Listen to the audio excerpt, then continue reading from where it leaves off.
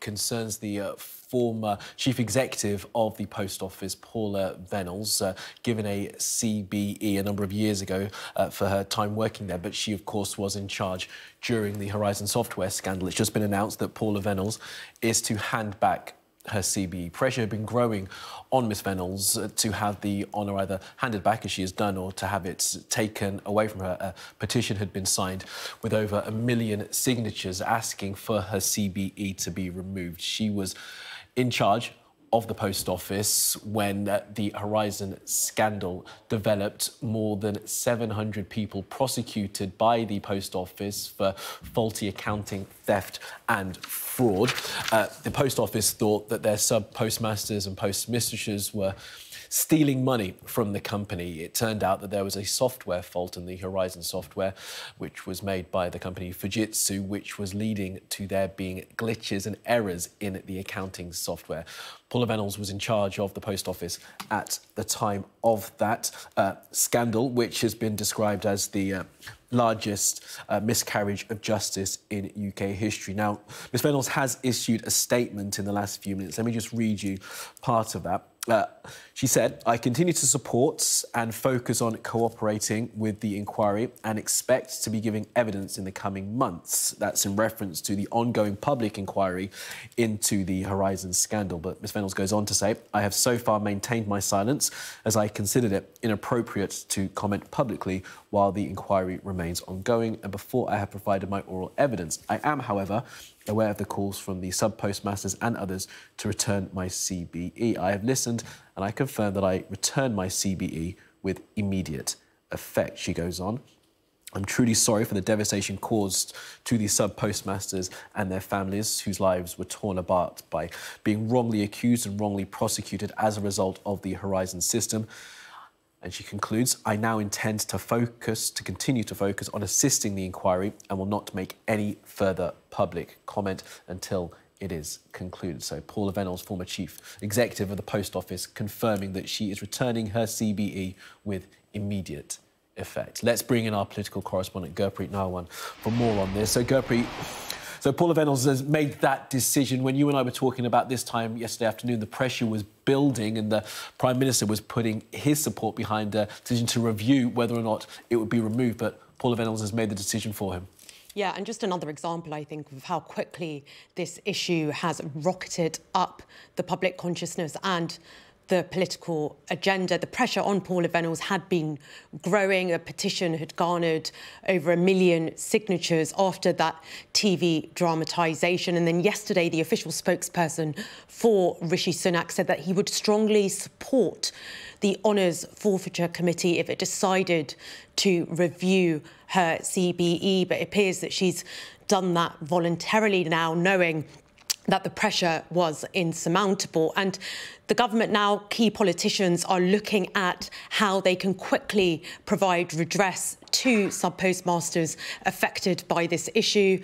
Uh, Alex Chalk, the Justice Secretary, fresh from meeting uh, with the Post Office Minister Kevin Hollinrake yesterday, was has today been meeting the senior judiciary to discuss how the government can speed up the process. The fastest but most unconventional route would be to pass an Act of Parliament that would exonerate all postmasters who were convicted using evidence from the faulty IT Horizon system. Now, that would be the fastest approach. Two former Lord Chancellors, Lord Buckland and Lord Falconer, have both said that this could be done almost immediately and that it would face almost no resistance in Parliament. Um, another option on the table is to ban the post office uh, from uh, challenging appeals. But what that doesn't address is the fact that one of the reasons there have been so few convictions is because many postmasters simply haven't been coming forward. They're scarred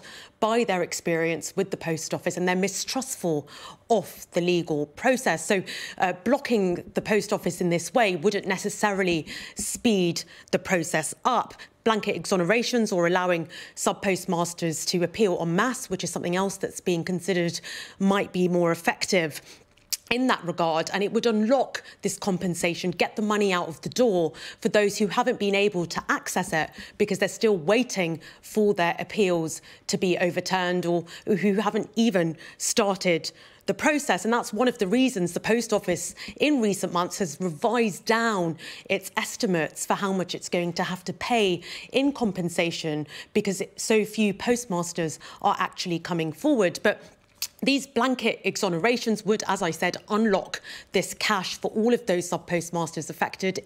It means a bigger bill for the taxpayer. The government is the post office's sole shareholder, so it's on the hook for all of this. But Kevin Hollinrake, uh, the post office minister, uh, yesterday in the Commons said that he would consider urging Fujitsu, that was the company that provided that IT system, to cover the compensation if the public inquiry that is ongoing finds that it is partly to blame. It's something that the Prime Minister's official spokesperson also hinted at yesterday, saying that the taxpayer shouldn't be on the hook for all of this.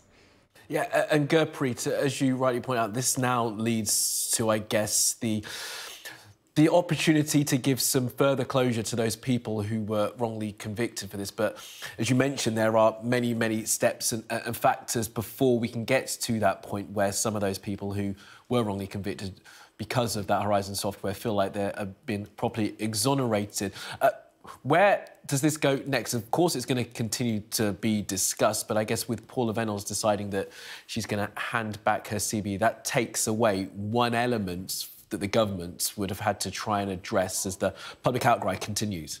Yeah, and look, Rishi Sunak, he, he, he stopped short yesterday of calling for uh, that honour to be stripped, but hinted really strongly at how he feels about this when his spokesperson said that he would strongly support the forfeiture committee if it decided to review uh, that honour. He's been talking really tough on this, saying yesterday that the government was on the case, but of course, Politicians have known about this issue for decades. Journalists and campaigners have been raising this issue repeatedly what it has, what it does show is that it's almost taken this TV dramatization to really bring this back into the public consciousness, but also to rocket it up the political agenda. And it's only now that the government is considering taking even more radical steps to exonerate these sub postmasters.